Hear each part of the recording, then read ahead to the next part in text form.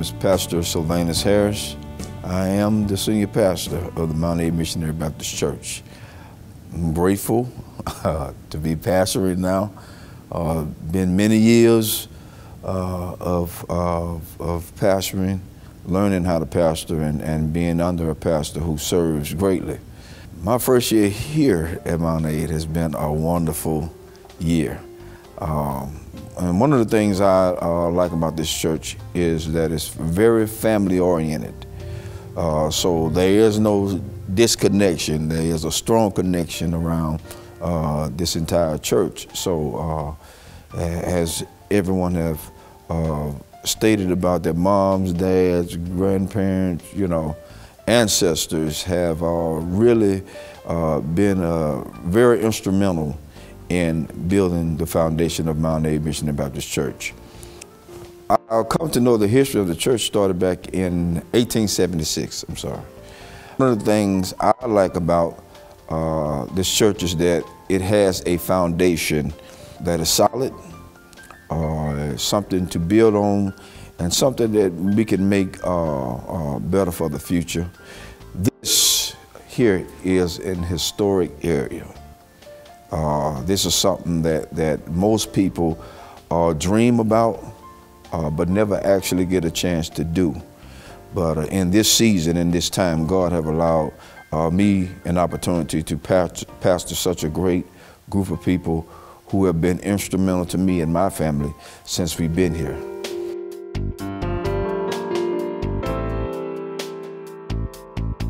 Hi, my name is Bernadette Douglas, uh, Dixon, and I was born February 4th, 1955. Of course, my family was already here. Uh, my great grandfather uh, died in the old church and was was buried. His sons, which my uh, cousin Ella was just talking about, her father, and his both of his sons, junior and senior, were out uh, doing riding the woods, as they called it. They they were in the turpentine business and they were out chipping boxes. Well, he died on a Sunday in church, and they just laid him out on the cooling board, as they called it, and they buried him the next morning, and his sons didn't even know he was dead. Uh, my father relayed a lot of of uh, you know the family history about the uh, industry and stuff. The according to Daddy, the land was uh, donated for the building of, of a church and cemetery for the community by a man named John Carter. And um, I became a member of the church in the early 1960s and was baptized out in the yard out there in a, in a pool. And I can remember there being frogs in the pool and I was scared. uh, after, uh, after baptism, we had to come back inside the church and sit on the front seat. And then after church was over, we received what was called the right hand of fellowship. And my little hands were very small, and it seemed like all those big people were just squeezing it, but uh, it, it made a difference. Uh, my connection with the church has made a difference in my life. Uh, my great aunt, Melvina Douglas, uh, as, as she was telling you, uh, our parents, four parents, were very strict. Uh, I started teaching Sunday school as soon as I learned how to read and and um, so I stayed a member here at Mount Aid for more than half of my life. And then, of course, I, I grew up, I got married, I, I left the church for a while and went to another church and recently came back home. My father was a, a cook, as they call it, and he learned to cook at the Malbis restaurant under Greek chef Kamanaka. And he, he would always refer to him as his first teacher uh, in the cooking industry. Uh, this place around here used to be fields, and of course, everything is building up into houses now, but it used to be fields. And we walked from Spanish Fort over here to church. And either my father or one of my brothers carried me on their neck. We had to cross a log to come across the, uh, what we call the big branch. And then we had to come up the hill. And at that time, like they said, there was no air conditioner or anything, but the windows of the church were open and we, if we were running late, we could hear them singing before we got here. And we were always excited to be here.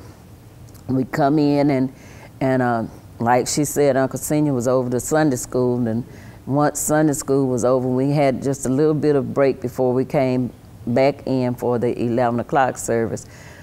Our pastor's name at the time when I joined the church was Reverend Collier. And uh, then after that uh, came, uh, you know, many others. At one point in time, uh, my uncle Lester, who was my father's brother, he was the pastor. My daddy, James Ziron Douglas, was the chairman of the trustee board, and my uncle Jimmy, Jim Douglas, was the chairman of the deacon board. Uh, that was just for a couple of years. We had many active families in this church. The, the active families was, we had the, the Carrolls, the Jenkins, uh, all of those older people were very important in our lives and they, they taught us, you know, the right way to live. Uh, everybody at that time worked somewhere. They either worked um, as domestics in the home, or I had a couple of aunts that were school teachers. I think uh, Ella mentioned and Letha. Um, but we lived well, and it was because of the church. I remember uh, Sister Knight and and uh, the others in the kitchen. They would cook for us for vacation Bible school, uh, we were excited to have hot dogs, sometimes popsicles. It was, it was just a, a fun time for us. Uh, when this church was built, I was little, but I, can, I remember that we marched in the church. We marched from the old church up there, came down here, and marched in the church.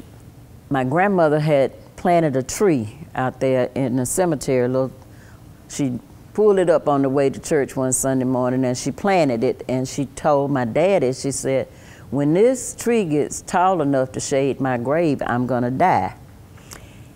And she said, but the church won't be where it is now. She, she, she told him, she said, he said, she said it's gonna be a big white church and it'll be facing the highway. Apparently she had had this dream. And the first funeral held in this church facing the highway was hers that uh, in November of 1963.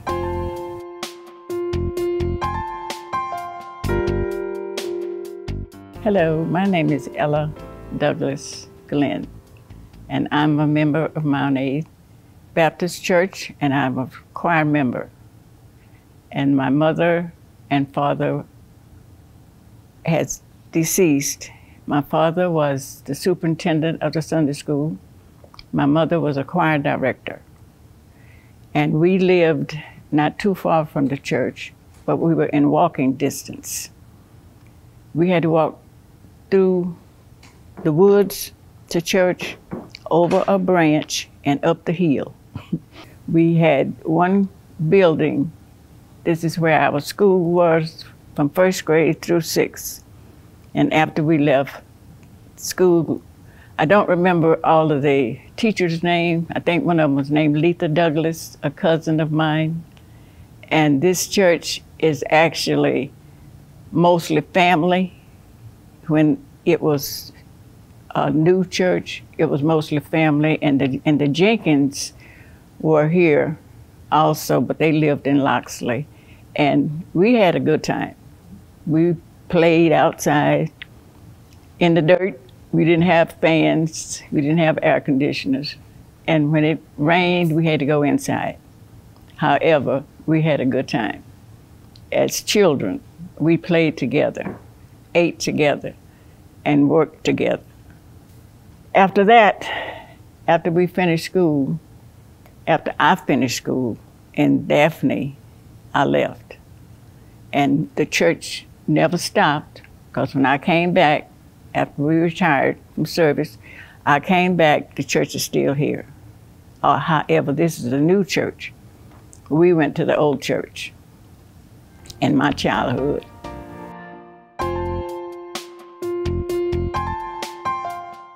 What I can remember about the church, when I was 11 years old, I joined this church and I was an active member up until this day. I started preaching in 1975. I taught Sunday school here at this church. I was the second vice president of the trustee board of this Mount Baptist Church. I was able to, they had the church up for sale, and I bought the church and built my house out of it. And uh, the people that helped me to tear it down was Thamus Douglas, Jeff Quinney, Paul Douglas, and myself. I remember when we had to go down to the spring to get water and bring it to the church, and uh, they had two toilets for the one for the men and one for the ladies that was out back, way out, had to walk pretty good ways to the bathrooms. And I remember when we had to baptize, I remember five different places we baptized. One was down at the foot of the hill. One was over there on, high, on Turkey Branch. We baptized across the woods from Mount Aid Baptist Church. I remember once we went up there to Mac Brumley and we baptized.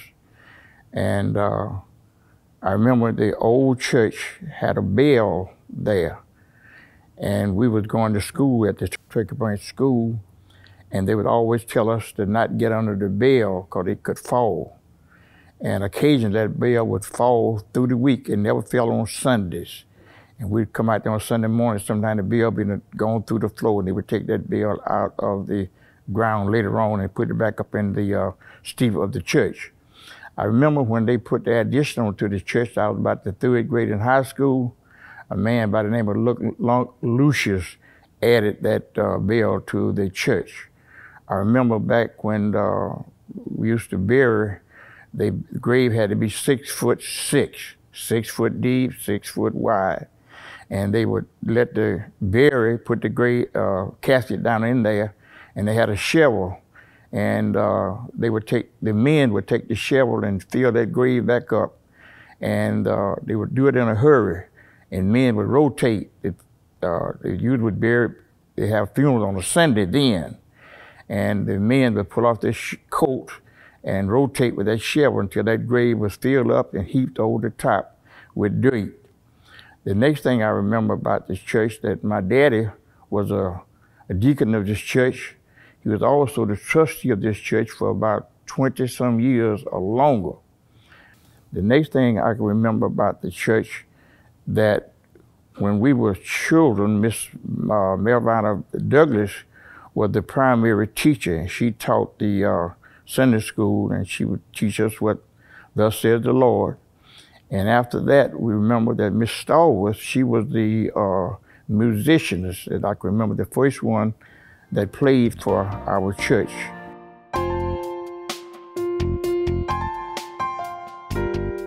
My name is Shirley Ann Carol Scott.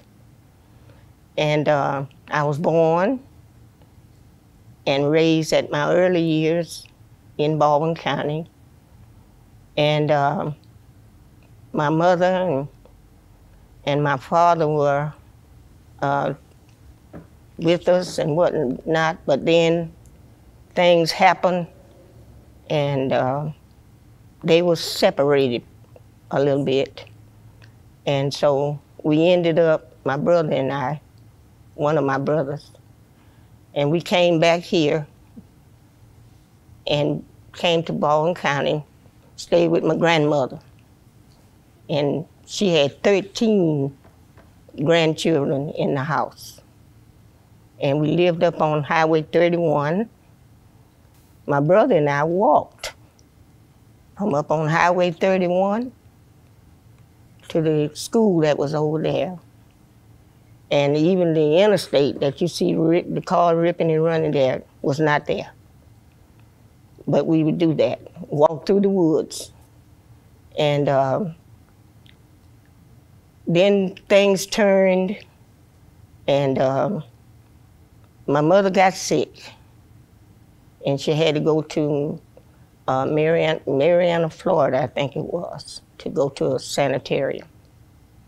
So I had to come back here again and stay with my grandmother. And I was there going to school until I graduated.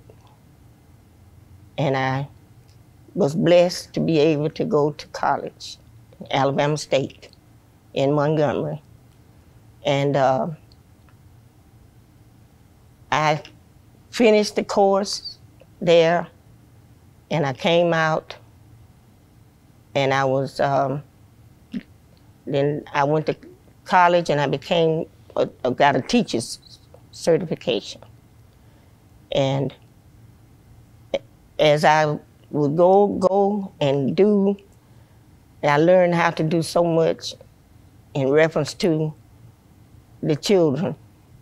And I would help, try to help them all I could. And I was, was a member of this church. And eventually, I would work with the choir. I'm secretary and several other activities that were going on in the church.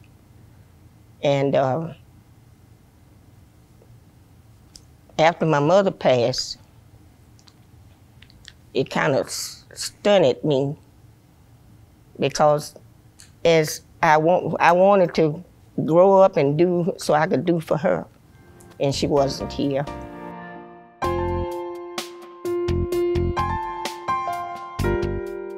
My name is Samuel Jenkins Jr.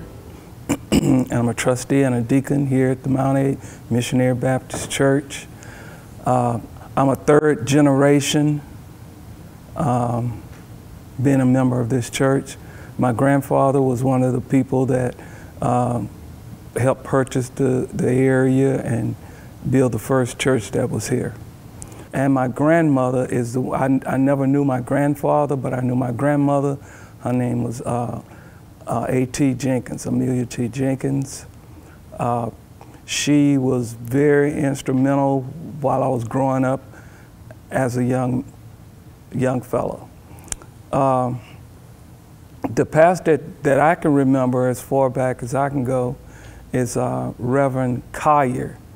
And he was the one that baptized me um, in that swimming pool. And just like uh, Minister Douglas said, it was uh, tadpoles and frogs in that pool where we got baptized in.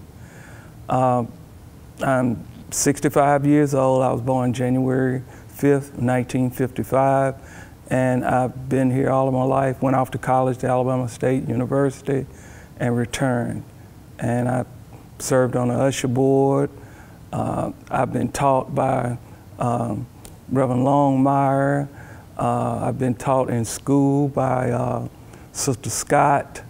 Uh, so our church history really is something else. My grandmother would line us up, all of the young men in the church, uh, she would line them up. She would sit on the second row in the church, and she would line the, the, the young men up. Uh, I'm talking about, I say young men, but I'm talking about uh, eight, nine, ten years old on that front row of the, the pew. And you have to sit there and listen at the preacher. And if you turned your head to look over at the other one or started to talk, my grandmother could thump you so hard upside your head it would bring tears to your eyes. And everybody knew that, so we'd sit there and just be attentive and listen at what the preacher. A lot of times we'd fall asleep. But at the end of the sermon, she would always ask each one of us, tell me something the preacher said. So you had to pay attention for a little while so you get a, a sentence or something to tell her because she wasn't going to be pleased if you didn't have anything to tell her about what the preacher said. These people were strict disciplinarians. They wanted you to do what was right, and they didn't tell you anything wrong. Uh, they were leaders, and they wanted you to be leaders. And to this day, I know of none that have gone off to prison that came up in this church. I know of none.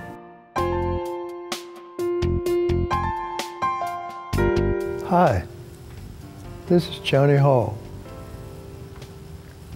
I want to let you know something about the Mount Aid Baptist Church. The Mount Aid Baptist Church is in a very surprising area, but a very good area. I learned about the church when I was very young. When I was born,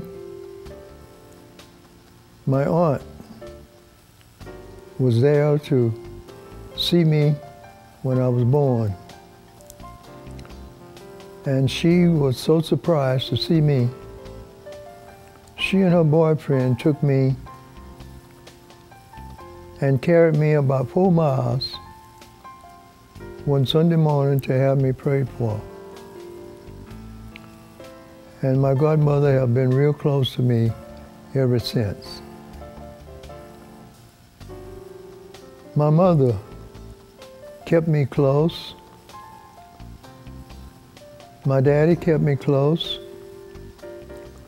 I grew up and one day I wanted to come to come to the Mount Baptist Church. And I got up that morning, I felt so good, I wanted to go to church. But one thing I'd like to say at this time, the last pastor that was at this Church before Reverend Harris came and took over, his name was Reverend Collins, Reverend Joyce Collins. He lived in the in the Brumley area. Reverend Collins would come in and he he'd give his service on a Sunday. He'd be service to the community. He would visit the sick. We would take trips. He was a fine man. So much so until he saw to it that he wanted me to do some I'll say household chores for him sometimes. so he came to the place where he wanted to call me every time something went wrong in his house. So much so that I became just like a servant to him. And I was always close to him all through the community. And whenever we went, wherever we went, wherever we go, whatever I had to do. But we became so close until he started inviting me to his house to do the repairs around his house. I did that for years and years. Whatever it was, whatever he wanted me to do, because he knew I was very instrumental in that type of work because I did it all my life. So I ended up doing various shows for Reverend Collins, and it ended up, we got to the place where we became to be associates with quite a few members of his church in his own community, which was his relatives. I got a chance to deal with his whole family. His wife, his mom, his children, and a lot of his friends. I'd go into the area whenever they wanted me. And I would do what I could to make things happy. And that's where we come from today. Reverend Collins was a great man. He did a great job in the church. We loved him. But now we have a new pastor, Reverend Harris, which is a fine man. From day one, he has been joy, a joy ever since we've been here. And we hope everybody that have ever visited this church, through Reverend Harris, uh, who, who is our pastor now, or any other minister that have ever come to the Mount Baptist Church or any other congregation that has ever visited our church. We hope that you can say like we can say today,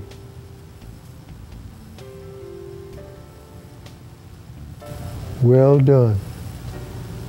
Well done. Well done. Thank you.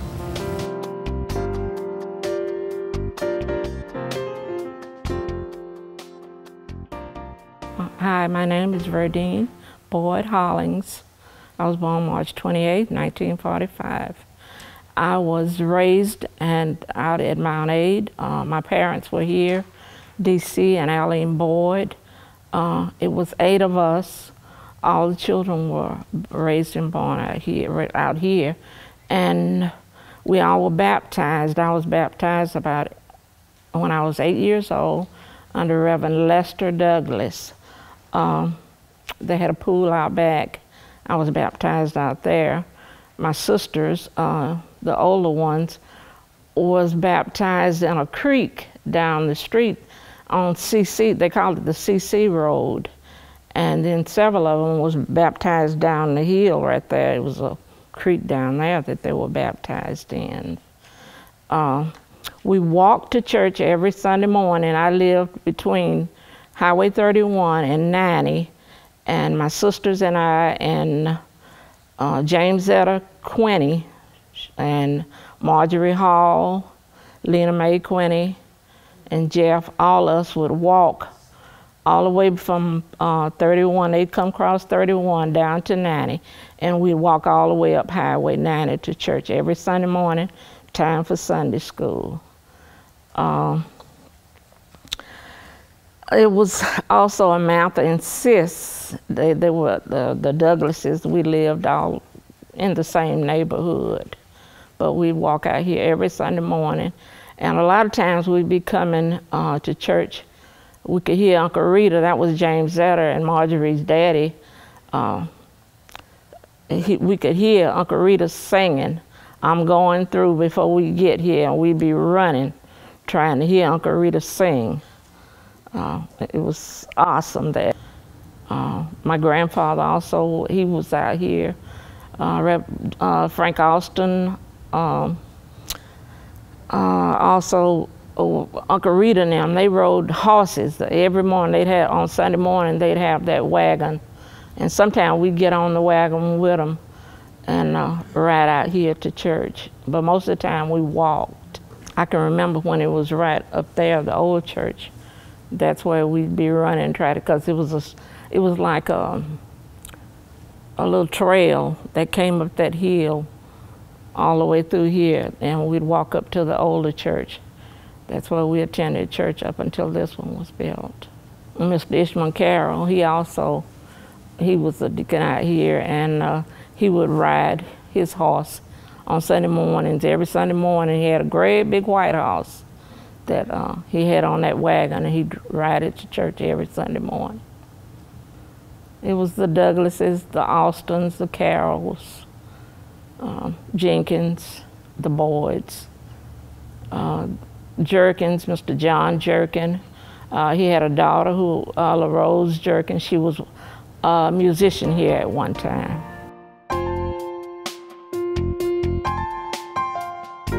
William Cyprian Sr., as I said before, I'm currently the chairman of the Deacons Ministry here. Now, I can't really tell you about any history but I can tell you, uh, you know, about the time that uh, I, when I first got here, which was in 1990, I believe. Uh, my wife is originally from this area, from Loxley, Alabama, and uh, we arrived here, uh, I believe it was in 1990. uh, January of 1990. We came from uh, California, Victorville, California, where we were uh, stationed there in the, in the Air Force. I retired out there, and two years later, my wife retired. And so uh, her father is from this area, and I think her father kind of talked her into coming back here because uh, I, I, had my sights on Florida. But we ended up here, and uh, we joined the church. Her father talked to us quite a bit about, you know, the uh, how good this church was, and the people in the church, good people. And uh, we've always been in church during the time that we were uh, in the Air Force. We, uh, we stayed in church, never, never got out of the church. We uh, participated in the chapel ministry while we were uh, in, in the Air Force.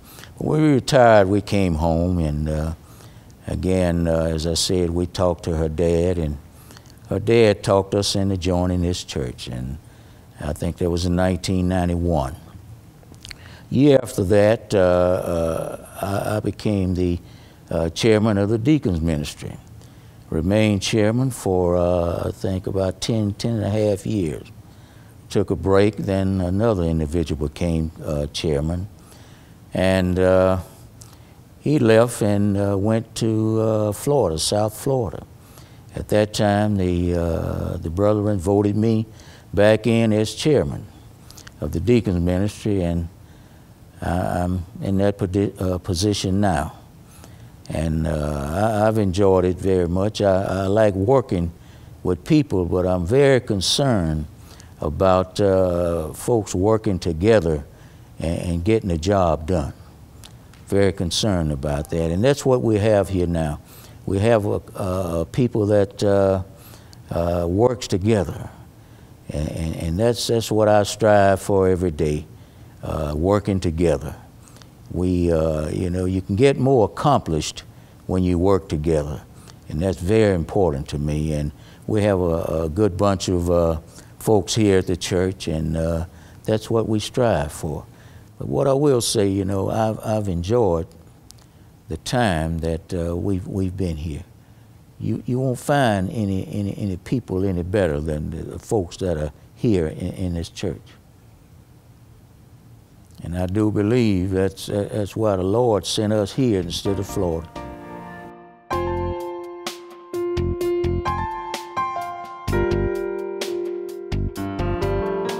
Senior Douglas was a father for 13 children. And I'm right in the middle of them. But we all were members of this church. And he was so strict when we were younger he could look at you. If you were out of place, you jump back in place. He was just that strict. And my mother used to tell him all the time, you're too strict on those girls. He said, they're mine. They're my girls. I want to raise them right. And he did out of the 13. And when he got ready on Sunday morning, he would lead the way and he made everybody get up and have breakfast around the table. But he prayed so long, the food got cold. but we still had to eat it before we left to come to Sunday school. And we stayed at church all day Sunday school, 11 o'clock service, BTU service, and I don't know what else. But uh, we had a lot of fun. He, he, raised us, he raised us right. Out of the 13, I don't know if any of us has ever been in jail. I was born uh, July 12, 1933, and I was raised here in Baldwin County. And the creek down here where we were baptized, some of us were baptized. And in the creek, we didn't have a pool to be baptized in. Snakes were there. We had to, when they put us in the water, we still looking for the snakes on each side. because everybody, and we were raised in the country, but I'm still afraid of a snake. That's the only thing I think I'm afraid of. And if I see it first, he's a dead one. I don't play around with snakes. But anyway, we had a good time.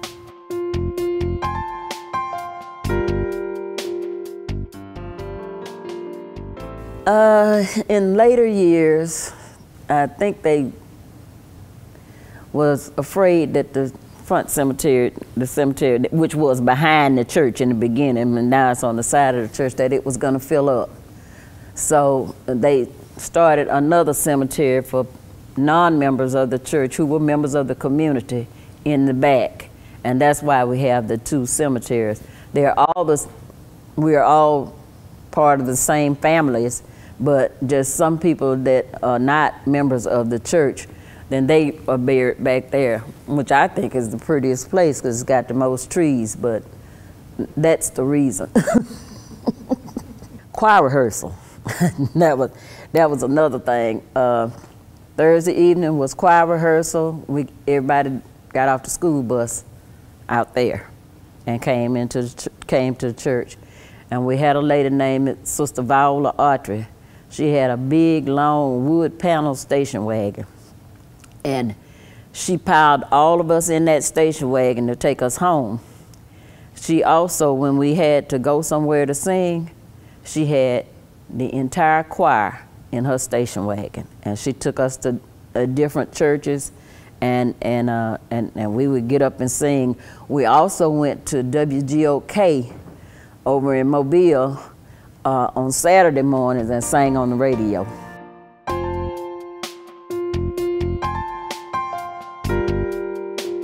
And uh, the first pastor I remember was Reverend uh, Scott from Atmore. And the latest pastor we have now is Reverend Savannah Harris. So I could remember from then up to now all the pastors. And we can say this that uh, Deacon Hilliard Jenkins, he was the chairman of the trust of the deacon board. And I never seen a man that the people admired as he was admired. He was, uh, they really respected him as well as he was the pastor. Whatever he said, there was no question he just said it. I remember one time we was out here digging up the stumps out here at the church. I was operating a backhoe, and one of Deacon Carroll was somehow another he got in the way, and I took the backhoe and switched it around real fast, and that bucket hit Deacon Carroll, and he fell to his knees. Blood came out of his eyes, nose, mouth, and I just knew he was dead. But by the grace of God, he went to hospital, stayed about a week, and uh, he survived and he lived years after then. I remember also when I was a little boy, you could count the cars on one finger that was here at this church. People came on, men came on horsebacks, some people came on wagons. And uh, the next thing I can remember about this church, when I was tearing the church down, there was an accident right down this, uh, at the highway we came to the church, and a man was killed. Uh, the next thing I can remember about this church that I uh, used to teach Sunday school right here in this side here, teach uh, the young men. And I also sang the choir. I was uh, uh a Sunday school teacher. I think I repeat myself here in this church. And some of the young men I taught with Brother Samuel Jenkins and Brother Shelley Jenkins and uh, uh, I say Shelley Jenkins, or his, his son. And uh, the Lord had blessed me from then until now. I've been preaching for 45 years. And I remember Sister Scott, she was the uh, secretary, one that one that made out the license and signed my name on the uh, uh, uh, credentials. And now it has almost faded out down through the years. And I can say that uh, my father was the one that picked this spot for this church to be built. Reverend J.C. Collier was the one from Pensacola, the one that built this church. And I think uh, uh Brother Wheaton was the contractor that added on to this church. And uh, I remember, I think 1944 was the first member of our family that was buried here. His name was Edward Longmire. And then later years, my mother passed, and then my father passed, and that's all we had buried in this church. So we've been blessed when it comes to the death of the immediate family of the Longmires. I think we got about the shortest list of the people been buried here. And I just give the Lord the glory and the praise for the many blessings that He has blessed me. As I said earlier, we always walked to church, but now the Lord has blessed us that we able to ride here. We got air conditioning, we got uh, carpet on the floor, we got uh, padded pews, and we have really been blessed from the time that I've been here up until this day. I never thought that I would see the church progress the way it has progressed down through the years from walking till now we're able to ride and we're able to just sit back and enjoy how the Lord has blessed us with the facilities that's here that's in our church.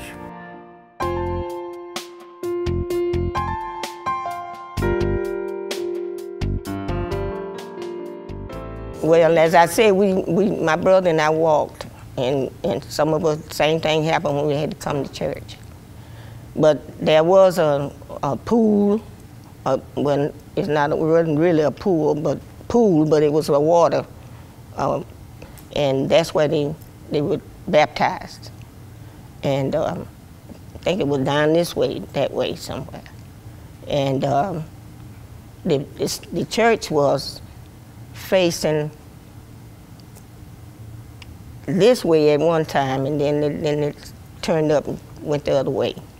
So, but everything was still uh, dedicated to doing what was right, and we enjoyed coming, and we had the youth, young young folk singing in the choir, and um, then as we grew up, we took part with the other churches activities that were going on. So we are just thankful that we had the avenue to walk on where we could do those things for ourselves.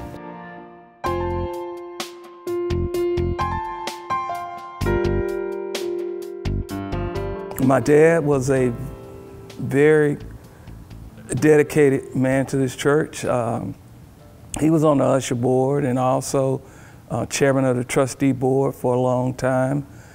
And I, I have that position now, just recently uh, been in that position. Um, and I got some big shoes to fill. Uh, my dad was the first uh, black, the only black county commissioner that we have had in this county of Baldwin County. And he's got a highway that's named after him that runs right in front of this church. Um, he was very dedicated to his church, and my mother was also. Uh, she sang in the choir and everything. And um, I, all of my brothers grew up here. Uh, my mother had five boys. Uh, two of them are deceased and three are still living. All of the descendants that were, all of my dad's brothers, siblings, and everybody have passed on. The last one passed on uh, earlier this month. So that was the last one. My granddad had five boys and three girls. Um, all of them were very, very successful and pillars wherever they went within the world. They were stationed all over the world. And they constantly would send donations back to the church whenever we had special drives. Um, ever since I've been here, this church has always been financially stable. A minister has never left here without being compensated. Uh, we've always, matter of fact, we paid our bills on time, and this church, when it was, we always paid it off, bills off before they matured. Um, and from what I can remember, I was well, I was told that that used to be where we've got the uh, fellowship hall was a school, and uh, the church had donated it to the state to be a school, and my grandmother taught at that school. Um, so my family has got a long history of being here at this church. The, the windows were open at the old church, and uh, there was a lot of church going on in there people used to get, ladies and men used to get happy in church when the preacher would say something that touched their hearts, and ushers would have to come and set them down and fan them to, to get them back calm. Uh, they, it, I think it was a, a, a way of relief from the pressures that that person had gone through that week, and then to be able to let it out and then be charged up by the minister and move on for another for another week. It was it was oppressed and we were but we kept moving on. Our ancestors did. My grandmothers, my dad, and we didn't even know that we were really being treated not equal because of the love and the care that they showed us. I mean, we thought we were, well, we knew we were cared for.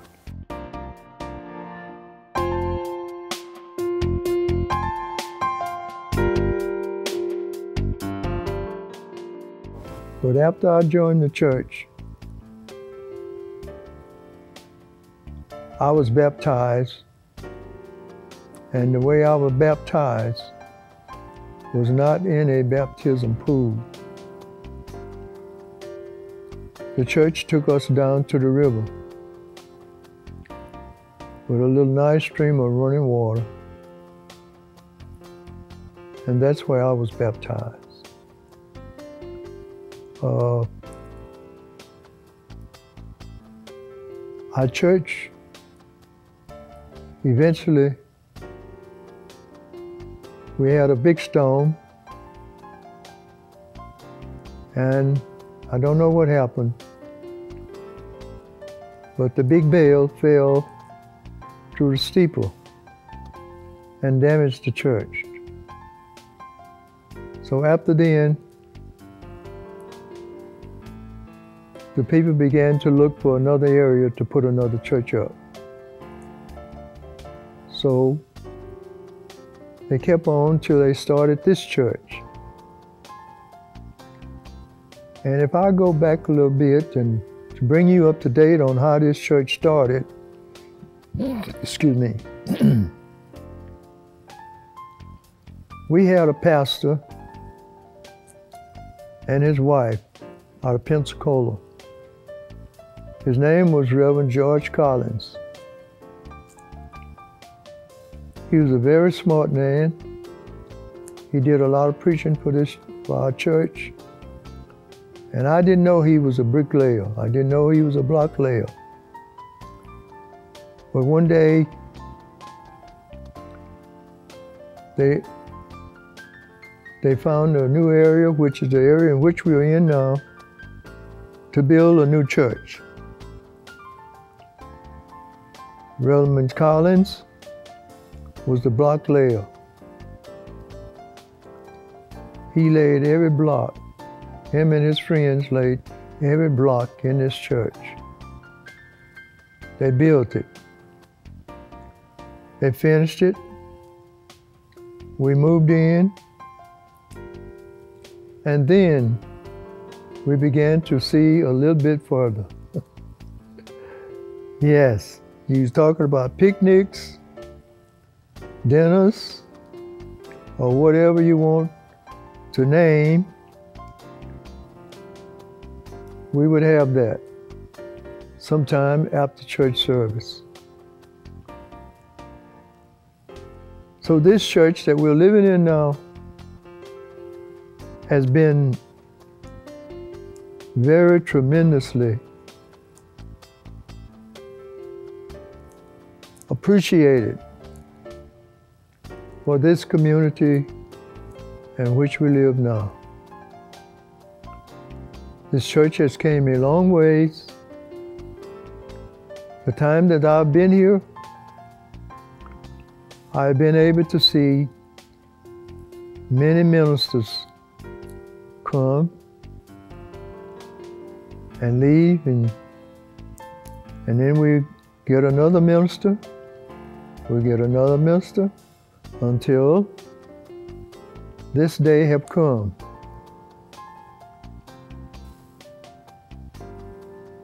This church, as I grew up in this church, I was very instrumental. I always wanted to be appreciated in whatever situation I was in. So this church being the church that it was and people elderly people of this area realized that they saw a little potential in me as to what I could do in cabinet work and so forth. Many times I found myself in this church working. I never shall forget the pulpit. One day, we was trying to improve the situation. And they wanted me to improve the pulpit area. So I came in and I began to work on the floor first. And something happened to me that day that I will never forget. I was using some very expensive stain in the pulpit area. And I, I don't never like to use the term devil, but sometimes you can't help but say it. I was in the pulpit, I was working, and all of a sudden, it's a good thing I had my drop cloth. I had my drop cloth down and everything over the pulpit, and I was working, and all of a sudden, that stain that I had using on that pulpit tried to turn over on that floor. And when it did, I caught it. and I was so pleased when I caught that varnish to keep it from staining the area on that pulpit. Then we got a pool. And the pool decided that they decided that they wanted the pool area uh, redone. As they wanted me to do it. I said, yes, sir, I'll do it. So I went into the pool area. I stripped the pool area. I varnished the walls and I repainted the pool area. Later on, we got, we had an area in the back, but we didn't have an upstairs. We always wanted an upstairs. We had a flat roof on the back. We always wanted an upstairs. So they asked me if I could look into the situation in order that we could have upstairs. I said, yes, I will. I went in and I looked and I drew them out a plan as to how they could put her upstairs. So they appreciated the plan that I presented to them and they went to work on it. And we had a nice upstairs apartment that we can have all the youngsters to be in Sunday school during church service.